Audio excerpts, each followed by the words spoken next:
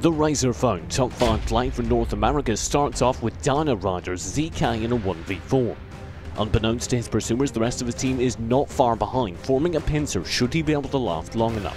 He spends lift off the Maxo, making him difficult to target as he speeds into the backlines, allowing the rest of Dino Riders to catch up. Beast is the first to arrive on site, spending Red Stallion to dash into the fray. He's past this defensive King's Glory, so it finds nothing, and Hoon's Smite is already racking up its own damage. By this point, Dino Riders have badly split their opponents. This fight was never taken as a traditional 5v5.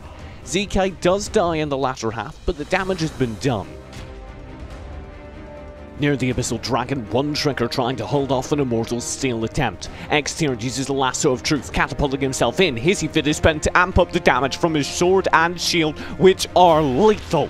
Immortals don't get the dragon, but they get twice the value in kills. Their Alice is a major reason why they won the fight. Her role as an offensive support character has never been more apparent. And likewise, KZ Fox on Violet is excellent at hunting down these stragglers.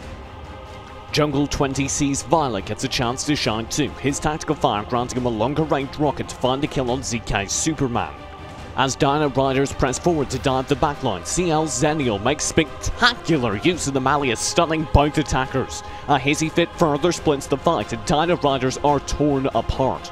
Hoon lingers on the defense, proving tough to deal with, and in the attacker's weakened state, worthy of consideration. Jungle 20 again proves their worth though, spending a tactical fire again, this time to dodge the Plague Spectre and find the game-winning kill. This is another example of why mobility and the ability to deny that mobility are so important.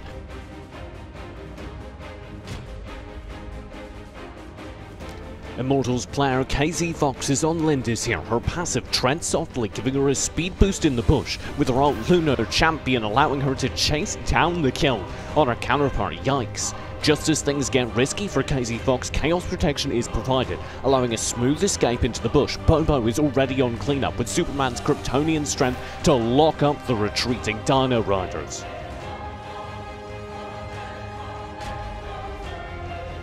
Everyone should already know what the best play of last week was. 80s Heroes Heroics versus Dino Riders were certainly memorable. While the various techniques used to reduce his blink and wheel cooldown are important, I would like to draw attention to the positioning.